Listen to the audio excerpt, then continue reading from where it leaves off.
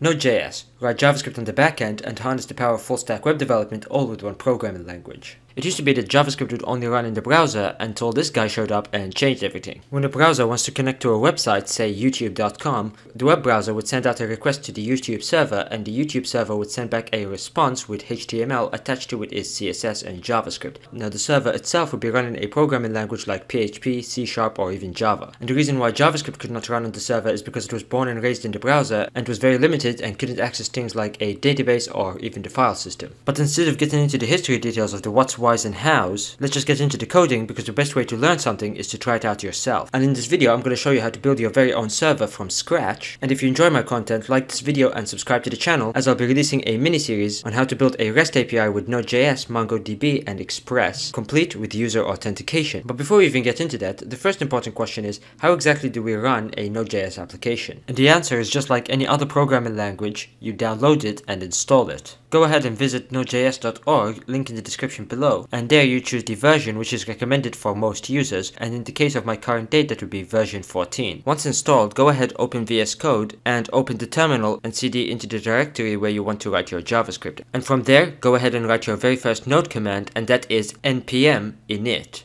And on a side note, what I'll go ahead and do is add the dash y flag just to answer yes to all the questions that will be asked when building this node project and you should see this package.json file show up in your project folder. Now we'll talk more about what's inside of this file, but for now just go ahead and create a file and call it index.js. Now inside of that file, go ahead and write console.log hello node and then inside of the terminal go ahead and write node and then the path of the JavaScript file which in this case it's index.js. You should see hello node show up in the terminal and congratulations because you just built your very first node app. Now printing out stuff to the terminal is fine but that's not why we're using Node.js. Which brings us to the next part of this video, the global object and node modules. Now if you want to understand what the global object is, the simplest answer is it's the equivalent of the window object in vanilla JavaScript, with some differences such as we don't have access to the DOM as the DOM is an intrinsic part of the front end, but all in all everything in Node.js resides on the global object. And one of the first modules we're going to look at is the FS node module. Now FS stands for file system and from its name it's a way to allow our node app to read or write files to and from the file system. So how to use it, I'll go ahead and create a constant called fs and I'll set that equal to require fs.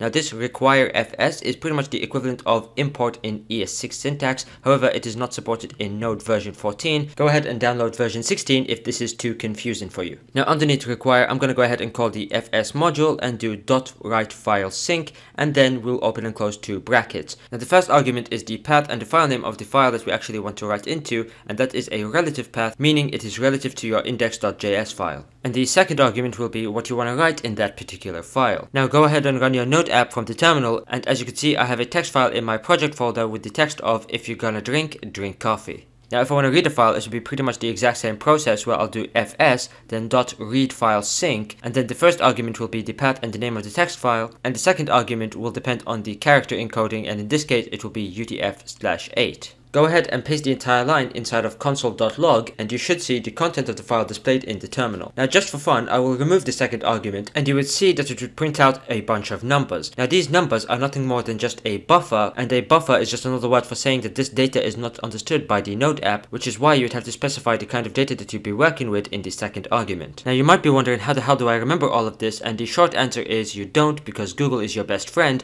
and nobody really writes into text files with Node.js. So we'll talk about another Node module or package or also known as a framework called Express, which is pretty much the easiest way of turning your Node app into a server. But before we even get into Express, I need to explain to you one last thing and that is where Express comes from, which is the next part of this video, npm. Now if you've been following along with this video, npm was installed in your computer when you installed Node, and you could think of npm as the App Store. The only difference is if you decide to build a Node module, Apple wouldn't take 30% commission from your packages. Now I say packages because npm npm is an acronym for Node Package Manager. You can head over to the npm website and search for the package that you actually want to use in your project. And here you'd find great documentation about the package that you want to use. And since we're going to be using Express from npm, that pretty much means it's a third-party module built by awesome developers like yourself and we'd have to install it. So go and head over to the terminal and from the path of your project run npm install express. And once all the files have been downloaded, you'd notice that there'd be a node modules folder inside of your project folder and you'd also also find a new package lock JSON file. Now the package lock JSON file is beyond the scope of this video, however this node modules folder you shouldn't be touching it even if you know exactly what you're doing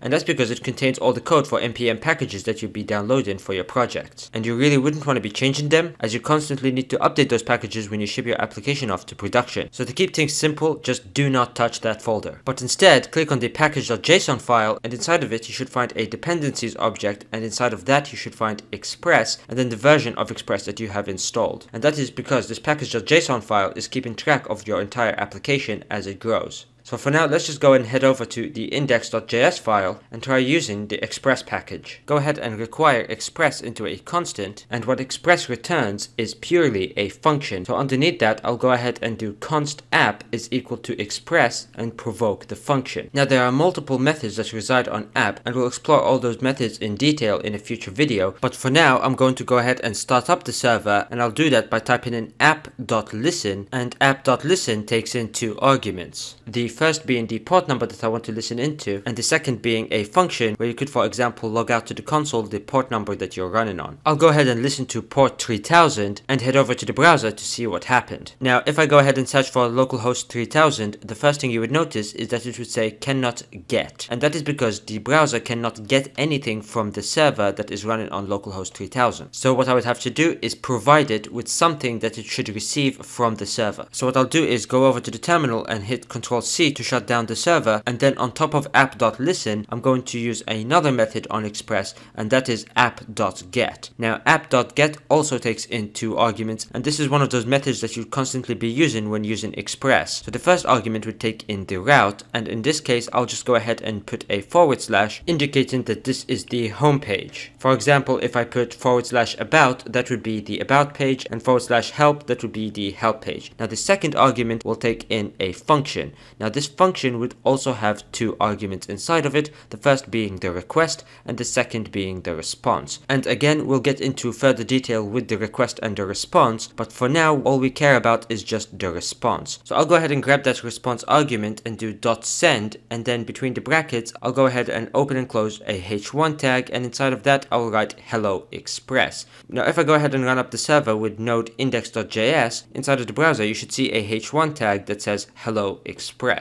Now that's cool and all, but there are two major problems here. The first being I cannot write an entire website inside of that response.send function, and the second being each time I want to make a minor change on the server, I would have to hit Ctrl C and then run the same node index.js command over and over again just to view the minor changes on the browser. So to fix that whole reloading issue that we have, we're going to install another npm package, and this dependency is going to be a dev dependency. Now a dev dependency means a package that is only included in the project when it's in development. After production, that package will not be included in the app. So I'll shut down the server and run npm install nodemon and I'll add to it dash dash save dash dev to install it as a dev dependency. Now once installed, inside of the package.json file, you would find dependencies which still have express, but dev dependencies will have nodemon and then the version of nodemon that is installed. And now I'll start up the server again, but this time I'll write nodemon index.js. Now each time I make a change, I hit Ctrl S to save and the server instantaneously refreshes with the new changes. Okay, so that's one problem out the way, but what about that response.send with just one h1 tag? I clearly want to serve up all my HTML, CSS, and client-side JavaScript assets. So what I'll do, and just to make things simple, is I'll go ahead and create a public folder inside of my node project, and then inside of that public folder, I'll go ahead and create two HTML files,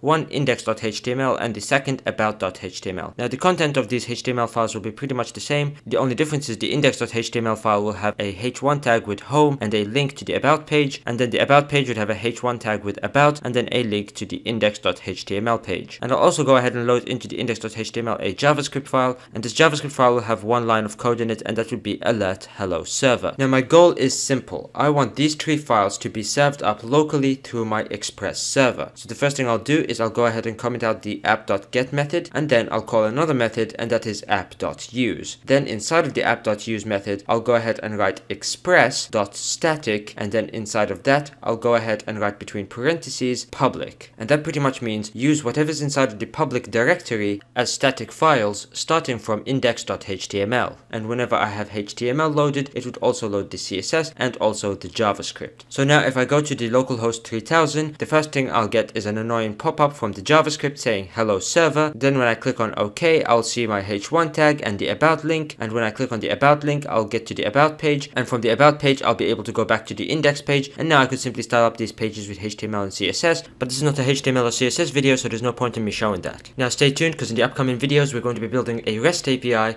And on that bombshell, thanks for watching.